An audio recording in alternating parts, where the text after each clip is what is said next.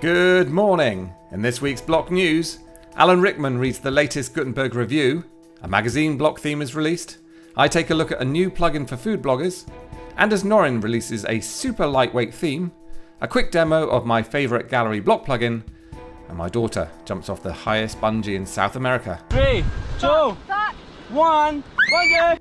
Let's get newsy. Time for block news. It's news about blocks.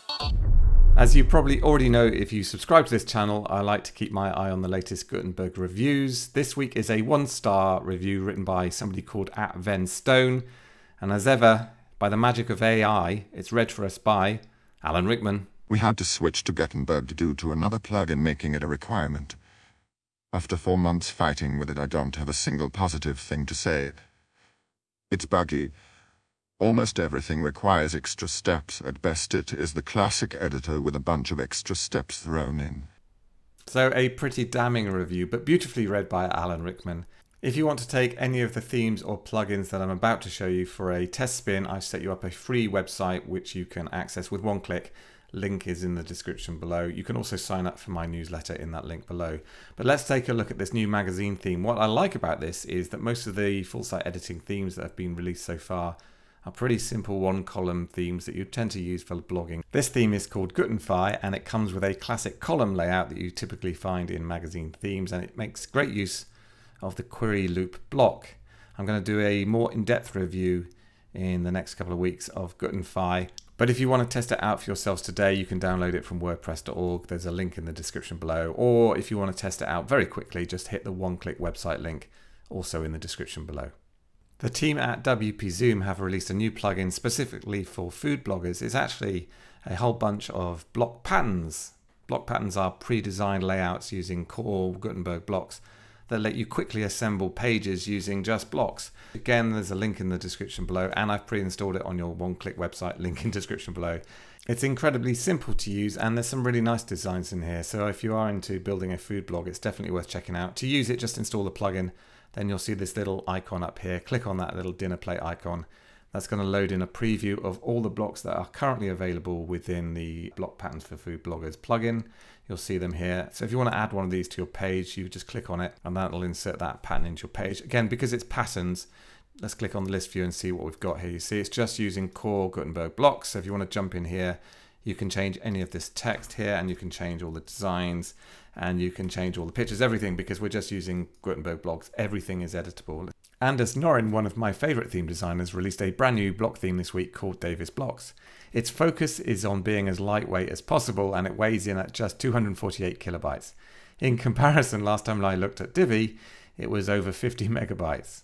Anders tried to make use of the power of theme.json as much as possible, and Davis block contains no JavaScript, only 50 lines of PHP, and only 250 lines of CSS. You can download it for free now from WordPress.org, and you can also test it out on the one click website link below. The Meow Gallery and Gallery Block plugin has had an update this week. This is probably my favorite Gutenberg Gallery Block plugin. It's free to download from WordPress.org. If you want to test it out, there's a one click website link below. It also has some of the best plugin artwork out there. It's got this fantastic cartoon cat.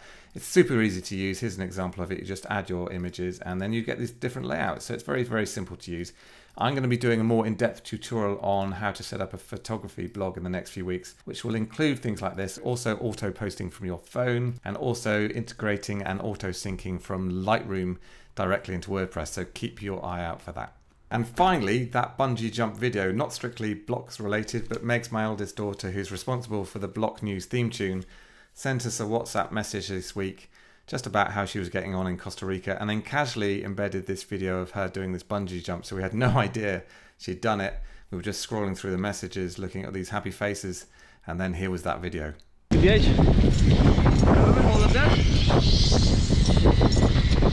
Perfect, Megan. Oh my god! Lista. Three, two, one. Bungee. Yes, Meg! Woo! Yeah! My wife Rosie actually thought we were about to see a zip wire video, so you can imagine her feelings as Megs fell off the end of that platform into the abyss. So there we go. Thank you so much for watching. If you enjoyed this video, if you can hit the like button now, that would be amazing because it really, really, really, really does help spread the word of the channel. And also, as you probably know by now, every time you do hit that like button, our cats get a little treat.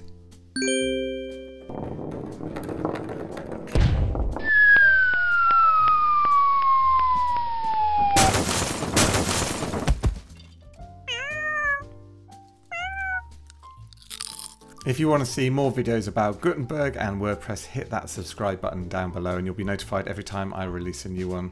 Keep well, and I'll see you soon.